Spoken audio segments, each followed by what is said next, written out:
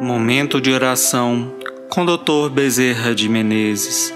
Psicofonia recebida pela médium Shirlene Soares Campos no Núcleo Servos Maria de Nazaré. Interpretada por Dr. José de Oliveira Campos.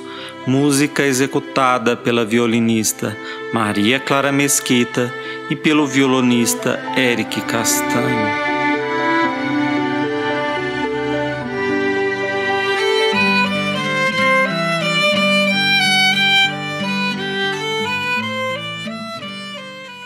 Exemplos do Mestre. Vocês têm uma imagem de Jesus. Nessa imagem, ele está sempre com as mãos livres, libertas, para ajudar, para abençoar, para curar. Vocês não viram nem verão jamais as mãos de Jesus empunhando papiros, leis, espadas, a não ser um caniço velho que lhe deram como cetro um caniço seco que, na verdade, testemunhava a fraqueza dos homens, não a grandeza de Deus. E esse mestre foi senhor da ciência, foi senhor da lei, foi senhor do amor, foi senhor da vida, foi amigo de todos e foi por todos traído.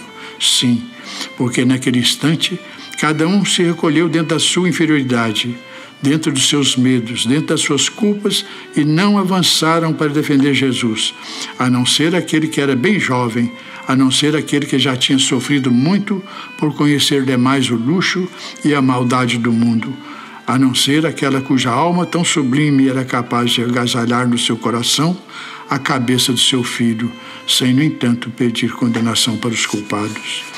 Lá está o nosso mestre tão simples, de sandálias, pés emboeirados. Lá está ele, a olhar para o céu, nos ensinando também a olhar para o céu, mas cuidando da terra, dizendo que essa terra é o estrado sublime para onde Deus pousa seus santos pés, ensinando que aqui é que vamos conquistar a cada dia o alimento do corpo e do espírito.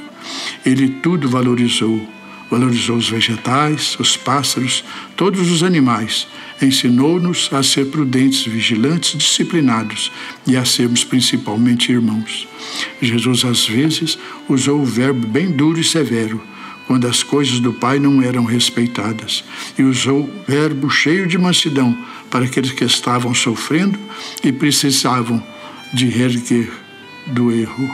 E usou também muito aquele verbo que era o verbo do alerta, que ficasse de prontidão sempre, porque as suas palavras poderiam ser levadas pelo vento se não as retivessem dentro do coração.